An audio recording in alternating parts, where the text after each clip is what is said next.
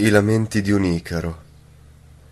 Gli amanti delle prostitute sono allegri, gagliardi e ben pasciuti, quanto a me ho le braccia a pezzi a forza di abbracciare nuvole.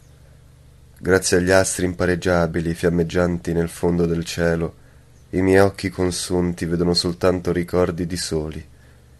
Hai voglia a scoprire la fine il centro dello spazio, sento che l'ala mi si spezza, sotto chissà quale occhio di fuoco bruciato dall'amore per il bello, non avrò il sublime onore di dare il mio nome all'abisso che mi servirà da tomba.